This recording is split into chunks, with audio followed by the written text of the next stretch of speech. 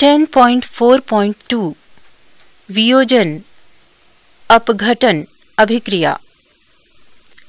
क्रियाकलाप पाँच, एक क्वथन नली में थोड़ा सा खाने का सोडा, सोडियम हाइड्रोजन कार्बोनेट लीजिए।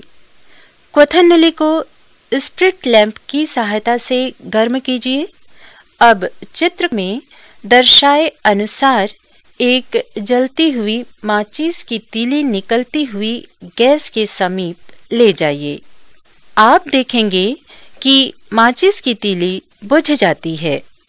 सोडियम हाइड्रोजन कार्बोनेट गर्म करने पर सोडियम कार्बोनेट पानी और कार्बन डाइऑक्साइड में टूट जाता है।